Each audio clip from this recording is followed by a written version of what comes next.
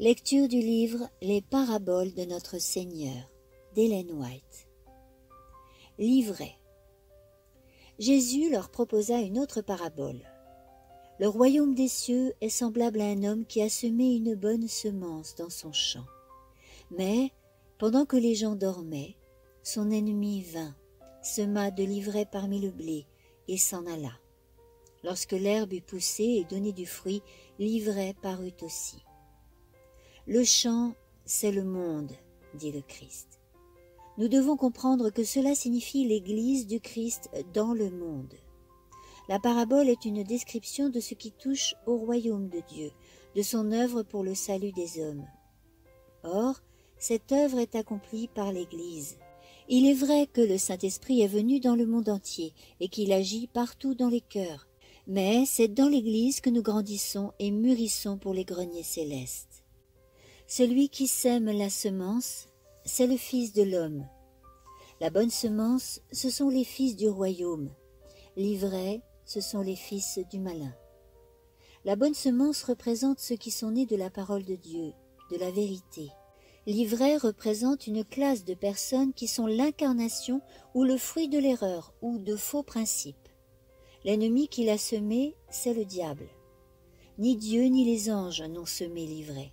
C'est l'œuvre de Satan, l'ennemi de Dieu et de l'homme. En Orient, il arrivait souvent qu'on se vengeât de son ennemi en jetant dans son champ, nouvellement semé, quelques mauvaises semences, qui en levant ressemblaient beaucoup au blé. En poussant, elles portaient préjudice à la moisson et causaient des ennuis et de la perte aux propriétaires. De même, c'est sa haine du Christ qui a poussé Satan à jeter de l'ivraie parmi le bon grain du royaume il attribue ensuite au Fils de l'homme le fruit de ses semailles.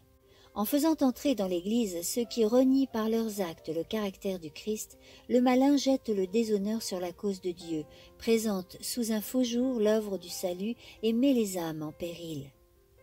Les serviteurs du Christ éprouvent de la peine à voir dans l'Église un mélange de vrais et de faux croyants. Ils voudraient pouvoir la purifier et, imitant les serviteurs de la parabole, ils sont prêts à arracher l'ivraie. Mais le Seigneur leur dit Non, de peur qu'en arrachant l'ivraie, vous ne déraciniez en même temps le blé.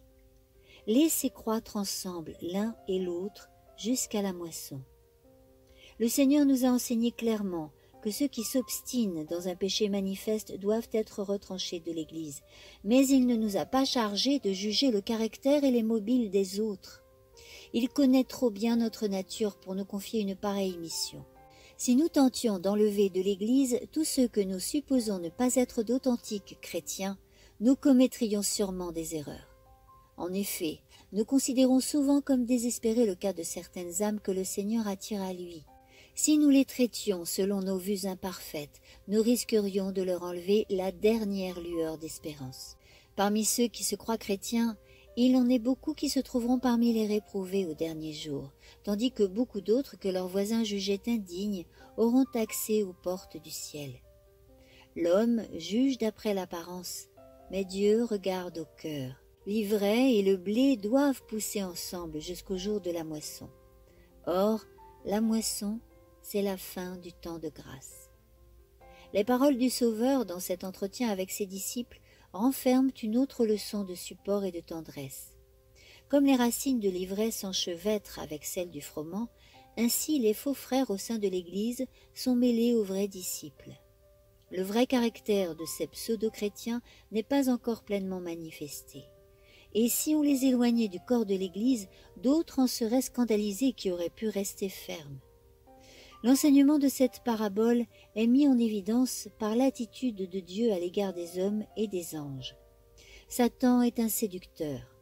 Quand il eut péché dans le ciel, les bons anges eux-mêmes ne discernèrent pas sur le champ son véritable caractère.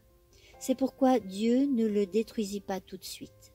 S'il l'avait fait, les saints anges auraient pu douter de sa justice et de son amour. Or, un doute sur la bonté divine eût été semblable à une mauvaise semence qui aurait produit un fruit amer de péché et de misère. C'est pourquoi Satan fut épargné pour lui permettre de manifester pleinement son caractère. Depuis de longs siècles, le Seigneur a consenti à ce que le spectacle pénible du mal offusquât sa vue. Il a consenti au don infini du calvaire plutôt que de voir des âmes séduites par le malin, car il n'était pas possible d'arracher l'ivraie sans mettre en danger l'existence du bon grain. N'aurions-nous pas autant de support à l'égard de nos semblables que le Seigneur du ciel et de la terre à l'égard de Satan?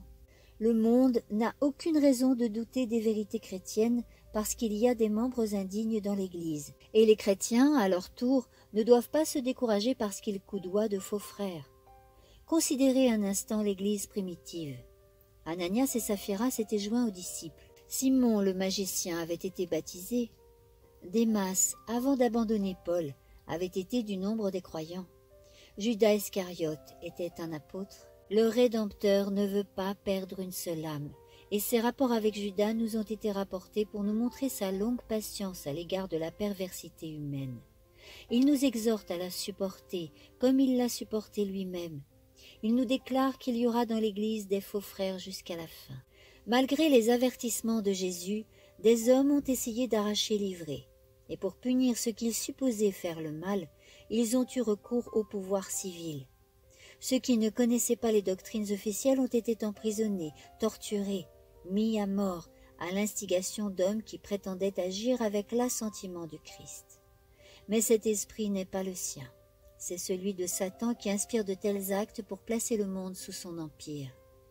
L'Église n'a pas été chargée d'infliger ces traitements à ceux qu'elle suppose être dans l'erreur, la parabole du Seigneur nous apprend à nous défier de nous-mêmes et à rester dans l'humilité, mais non à juger et condamner les autres. Tout ce qui est semé dans le champ n'est pas du bon grain, et le fait d'appartenir à l'Église ne prouve pas nécessairement que l'on soit chrétien.